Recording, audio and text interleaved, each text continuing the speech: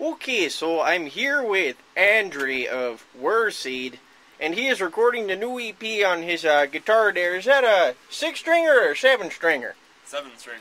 Oh, seven stringers are my personal favorite. Hey, how do you feel about the new tracks? I feel really good about them. They're um, coming along pretty nice.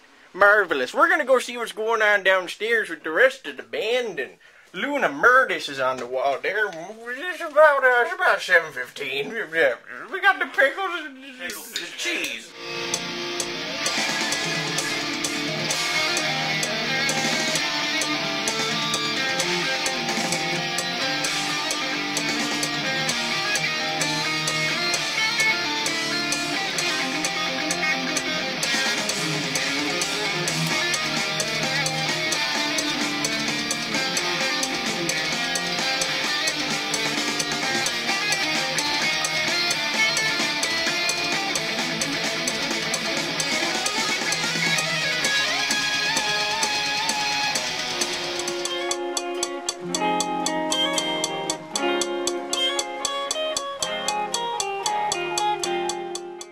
So Logan just broke my sunglasses. Uh, that's a little annoying.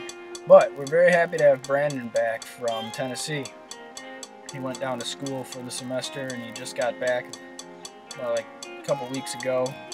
Just started practicing his Warseid parts again and he's right into the studio. Take a look.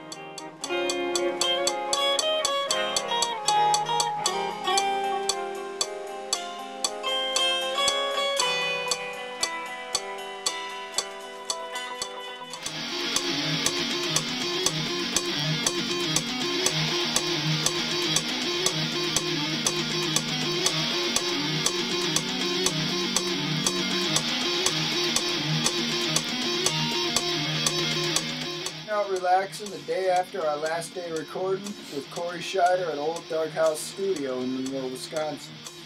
We're we're really happy with the way the recordings turn out. Uh, they went a lot better than we all expected. Uh, it's a lot better, a lot different experience than what we had recording Century. A lot smoother, a lot more of Better, a lot more of better. It was a great experience, and uh, I hope to work with him again on uh, our next project. Right now, he is. Uh, we're just waiting for him to mix it down. We've got artwork on the way. We've got T-shirts on the way. We've got a lot of great stuff on the way to complement this release, and we've got a great release show coming up on July 14th And 13th up in Green Bay. and 13th up in Green Bay, in tandem with Arbor from Green Bay. So we're really excited to be bringing you guys a lot of stuff, really quick, really soon, not much longer to. Keep your eyes peeled. It's gonna come fast.